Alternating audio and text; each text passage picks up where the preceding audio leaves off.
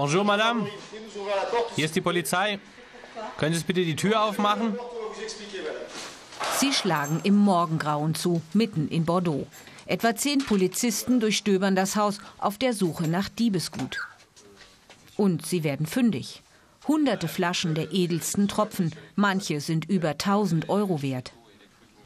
Der Besitzer legt Quittungen vor, aber die Polizei ist nicht überzeugt. 350 statt 1000 Euro. Was für ein Preisnachlass. Kam Ihnen das nicht ein wenig komisch vor?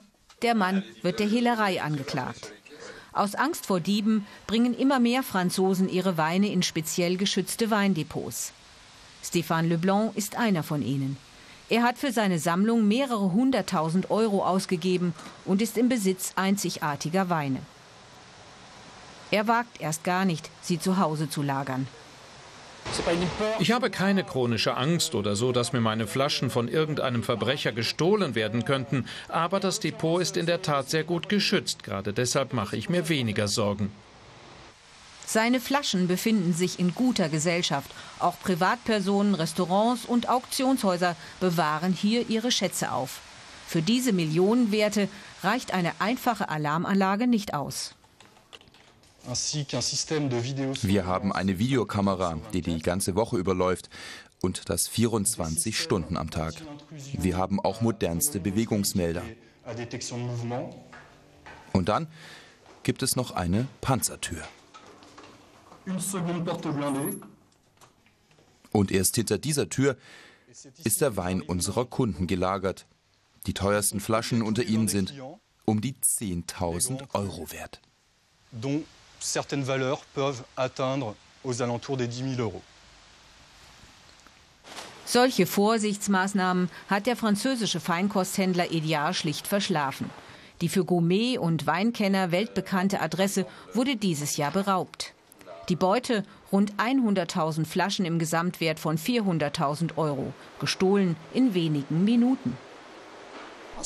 Manche sind so selten, dass sie nur schwer verkäuflich sind. Sie dürften also nicht mehr auf dem Markt erscheinen. Ansonsten würde man sie ausfindig machen können. Bei Drouot, einem der bekanntesten Auktionshäuser von Paris, ist schon öfter geklauter Wein gelandet. Alexandre Duclouet legt die Eingangsgebote von Weinen und Spirituosen fest. Er amüsiert sich über die Unprofessionalität so mancher Diebe.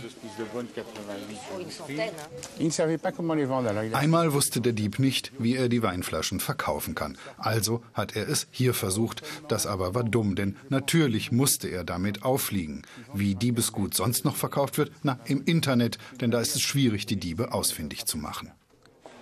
Wer auf Nummer sicher gehen und kein Diebesgut verkauft bekommen will, ist bei den renommierten Pariser Feinkosthändlern an der richtigen Adresse. Ihre Spitzenware wird vor Langfingern geschützt und liegt im Keller oder ganz oben im Regal. Hundertprozentig sicher fühlen sie sich hier aber auch nicht. Ich fürchte mich vielmehr vor den Weintransporten und vor Raubüberfällen während dieser Transporte, als vor Überfällen direkt beim Weinhändler. Natürlich gibt es die, aber noch sind sie eher die Ausnahme. Immer mehr französische Weinhändler sehen sich vor. Hinter einfachen Kellertüren wird wohl kaum einer mehr seine Flaschen lagern, schon gar nicht in der Weihnachtszeit.